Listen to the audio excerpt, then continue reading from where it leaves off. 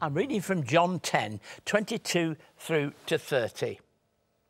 Then came the festival of dedication at Jerusalem. It was winter, and Jesus was in the temple courts walking in Solomon's colonnade. The Jews who were there gathered around him, saying, How long will you keep us in suspense?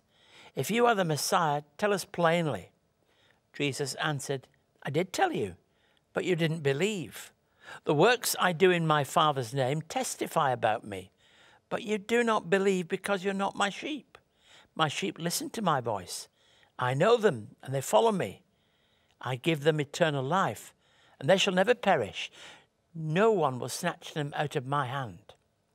My Father, who's given them to me, is greater than all. No one can snatch them out of my Father's hands. I and the Father are one. In these days between Easter and Pentecost, we've been exploring the appearances of the risen Lord. But now we take time to look at those passages that have spoken very clearly about these issues in John's Gospel already. They help us to see the events and words which lead up to the cross, but importantly, give us insight into the fullest meaning of what these things mean to us. In John 10, in the early section, we hear Jesus describing himself as the Good Shepherd. And that thought continues in the second half of the chapter, also in two key verses, 27 and 28, where it's quite clear. My sheep listen to my voice. I know them. I give them eternal life, and they shall. Jesus is always the Good Shepherd. It's spoken about here, but it's a picture that goes right back in the heart of the Old Testament uh, this picture of the shepherd who leads his sheep. And Jesus is the Good Shepherd. And those who belong to him will always be willing to be identified as his sheep. Not sheep in a, a, a, kind of, you don't count for anything, you have to be looked after, but sheep because sheep and shepherds are deeply and profoundly related. The shepherd and sheep become the enduring pattern of Christian ministry. We still use that kind of terminology, talking about a priest or a minister who'll say, Who are your flock? Well, that imagery clearly has its roots in this biblical image that we have here. It's not a weak or subservient model, but a picture of God's love spelled out for us in relationship. It shouldn't therefore surprise us that the Christian community is often referred to in this way. After he was raised from the dead, he will continue to be seen as the Good Shepherd. A good shepherd is one whose voice can be trusted, who knows the sheep of his flock. He calls us to care for others as he cares for us.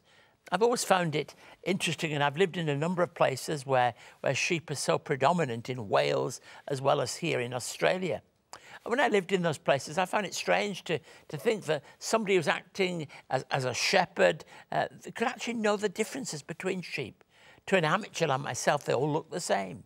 But no, there is a distinctiveness, and it tells us as much about the shepherd as it does about the sheep. Not the differences between the sheep, but the compassionate care of the shepherd for his sheep.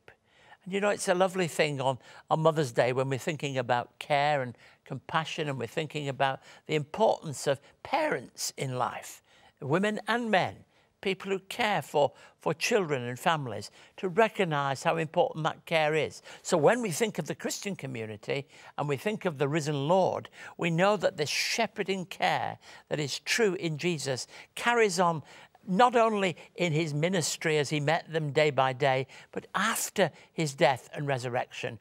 Boy, he'll always be the shepherd of his sheep.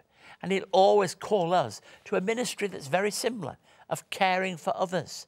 And we learn week by week on this show of those who exercise ministry in reaching out to children and to young people to offer care Lovely to see in some of those shots the importance of young children and how they're nurtured in life, hope, and faith. So the Good Shepherd has so much to say to us. It's a profound picture of God's love and care, which is demonstrated in the ministry of Jesus. He's always going to be the Good Shepherd.